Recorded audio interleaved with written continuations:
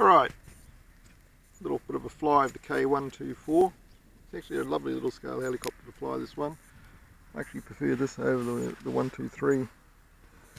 Anyway, always a run, around, only running on the stock 700 battery because I forgot to bring the Nanotechs with me. Never mind, this will do the job.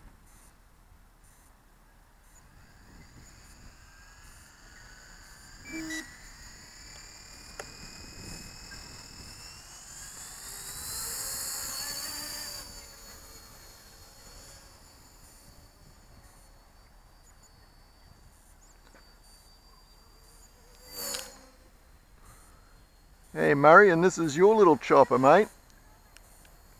Flying lovely.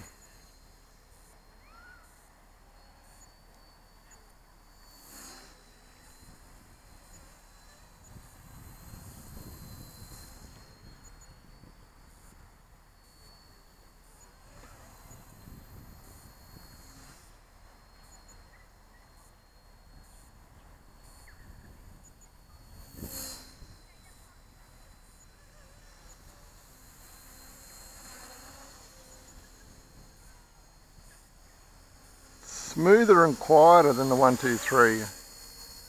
I know it's the four blade head or what it is, but it's actually a really nice little scale heli to fly.